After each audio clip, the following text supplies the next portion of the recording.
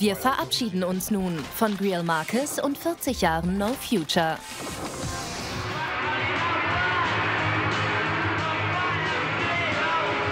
Anfang 1978 spielt Sex Pistols Bassist Sid Vicious seine Version von Sinatras My Way ein, bevor er sechs Monate später seine Freundin in New York ersticht und 1979 an einer Überdosis stirbt.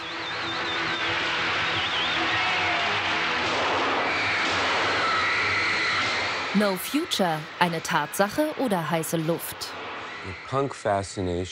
Die Faszination des Punk für das Morbide, den Verfall, für alles, was keine Zukunft hat, für den Tod. Die gab es, aber sie wurde künstlich aufgebläht. Beim Punk ging es vor allem darum zu zeigen, ich bin, ich lebe, ihr könnt mich nicht ignorieren. Und auch zu sagen, die Welt ist nicht so, wie sie scheint.